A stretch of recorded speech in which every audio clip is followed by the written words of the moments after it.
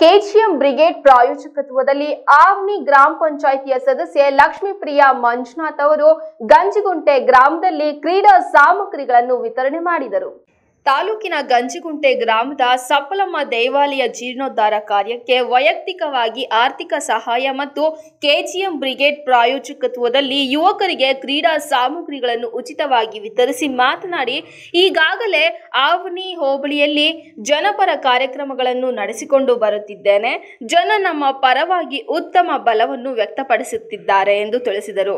ಆವಣಿ ಗ್ರಾಮ ಪಂಚಾಯಿತಿಯ ಸದಸ್ಯ ಲಕ್ಷ್ಮೀಪ್ರಿಯಾ ಮಂಜುನಾಥ್ ಮಾತನಾಡಿ, ಯುವಕರು ಕ್ರೀಡೆಗಳ ಬಗ್ಗೆ ಆಸಕ್ತಿ ಬೆಳೆಸಿಕೊಂಡು ಉತ್ತಮ ಕ್ರೀಡಾಪಟುಗಳಾಗಬೇಕು ಎಂದು ತಿಳಿಸಿದ್ದಾರೆ.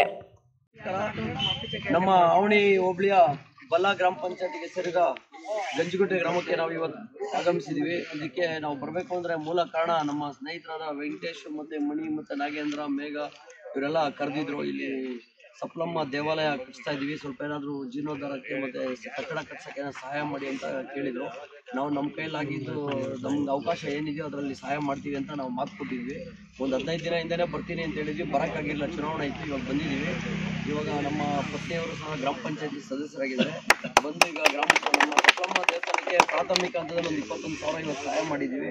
ಮುಂದಿನ ದಿನಗಳಲ್ಲಿ ಇನ್ನೂ ಸ್ವಲ್ಪ ನಾನು ಸಹಾಯ ಮಾಡ್ತೀನಿ.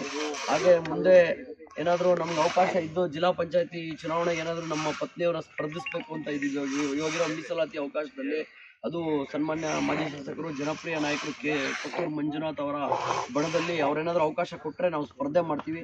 ಅವಾಗ ನೀವೆಲ್ಲರೂ ಒಂದು ಸಹಾಯ ಮಾಡಬೇಕು ಅಂತ ನಿಮ್ಮನ್ನು ಪರಿಚಯ ಮಾಡ್ಕೊಂಡಂಗೂ ಇರುತ್ತೆ ಅಂತ ನಾನು ಬಂದಿದ್ದೀನಿ. ದಯವಿಟ್ಟು ನೀವೆಲ್ಲ ಯೋಚನೆ ಮಾಡಿ ಗುರುತಿಸಿ ನಮ್ಮೊಂದು ಸಹಾಯ ಮಾಡಿ. ಈ ಊರಿಗೂ ನಮಗೂ ಭಾಳ ಅವಿನಾಭಾವ ಸಂಬಂಧ. ನಾನು ಚಿಕ್ಕ ಮಗು ಇದ್ದಾಗಲಿಂದ ನಾನು ನಮ್ಮ ತಂದೆ ಜೊತೆ ಬರ್ತಾ ಇದ್ದೆ.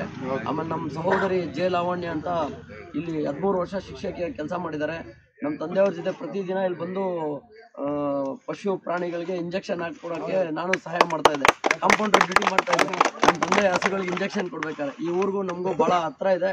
ನಮ್ಮ ಹಂಗಾಗಿ ನಾನು ಪ್ರೀತಿಯಿಂದ ಬಂದಿದ್ದೀನಿ. ನನಗೆ ಏನೇ ಸಮಸ್ಯೆ ಇದ್ರೆ ಈ ಊರಲ್ಲಿ ನಾನು ಖಂಡಿತ ನಿಮ್ಮ ಸಹಕಾರ ಕೊಡ್ತೀನಿ ಅಂತ ಈ ಮೂಲಕ ಹೇಳಕ್ಕೆ